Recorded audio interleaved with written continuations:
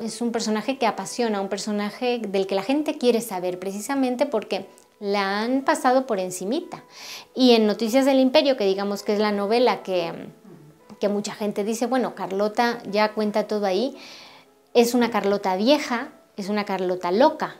Y mi Carlota es joven, es la Carlota que llega a México con 26 años. Y, la manera en que siempre se ha abordado a Carlota es una, mirada muy hecha desde el hombre.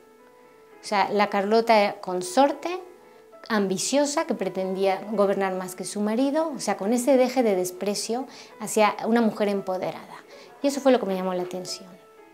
Quise, quise verla con otros ojos, porque realmente Carlota fue una mujer moderna, avanzada, que, que nació en una época pues adelantada a su tiempo. Carlota está completamente nulificada por la historia.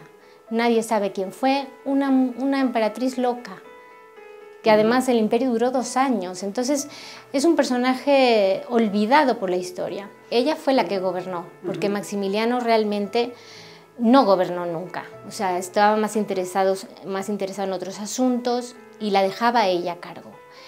Pero los que, a los, los conservadores que trajeron a Maximiliano no querían que gobernara ella, o sea, decían, a ver, a ver, ella es la esposa de, y es que pasa hoy en día, si tú traes de repente a tu empresa un señor y el señor se va de vacaciones y la que gobierna la esposa, todos pondrían el grito en el cielo. Imagínense en el siglo XIX, o sea, era todavía un agravante mayor. Le habían, le habían dicho que, se que, que el mundo era de ella, era una mujer culta, muy culta, hablaba ocho idiomas, cuando dijo que venía a México aprendió náhuatl, aprendió español, o sea, muy ambiciosa, con, con ansias de conocimiento muy politizada también. Eh, y bueno, pues me parece un, tema apasionante mm, para todos, para todos los que quieran conocer la historia de México de este, de este periodo que fue tan breve y del que se habla tan poco.